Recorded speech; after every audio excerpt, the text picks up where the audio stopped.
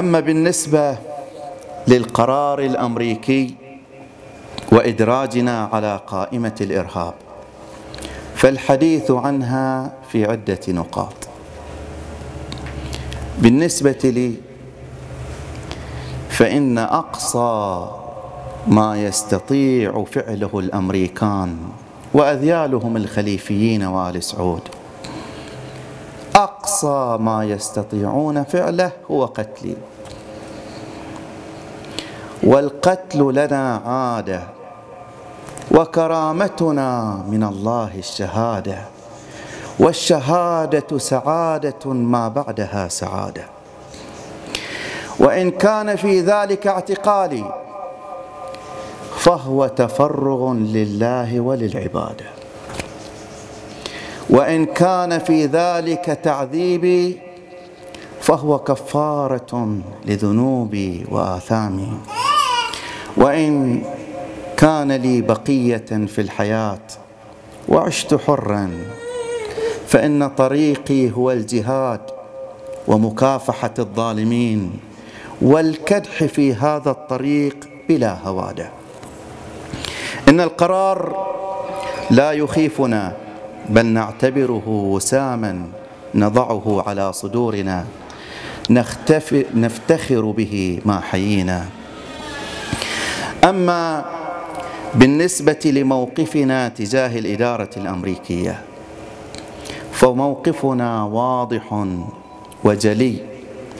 وقد عبرنا عنه في أدبيات تيار الوفاء الإسلامي وهو عقيدتنا السياسية أن أمريكا والإدارة الأمريكية هي عدو للشعب البحراني بل إلى كل الشعوب المستضعفة وأن الإدارة الأمريكية هي راعية الإرهاب والدكتاتورية في العالم وأنها هي التي استعدت الشعوب المظلومة بمواقفها المناصرة والداعمة للأنظمة الاستبدادية خصوصا القبائل التي تحكم الخليج.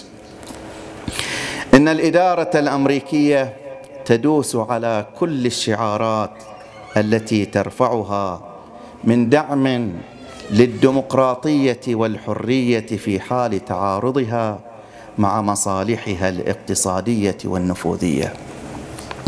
وإني أعتقد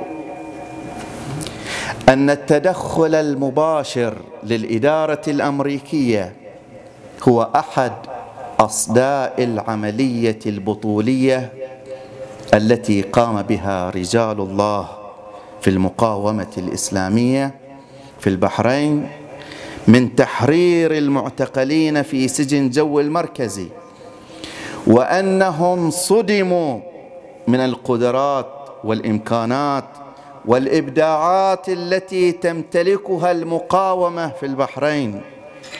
وهذا الأمر جعلها أي الإدارة الأمريكية وجعل الإدارة البريطانية تتخبط في تصرفاتها ومواقفها وإبراز مخاوفها الجدية على مصالحها وعملائها في المنطقة. إن القرار الأمريكي يؤكد عداء الإدارة الأمريكية للشعب البحراني وتطلعاته. وإننا نعتقد أن هذا القرار ليس قرارا تجاه أشخاص بل هو قرار تجاه منهج وخط بل هو تجاه كل من يتمرد على الإدارة الأمريكية ويتعرض ويتعارض عمله مع المصالح الأمريكية.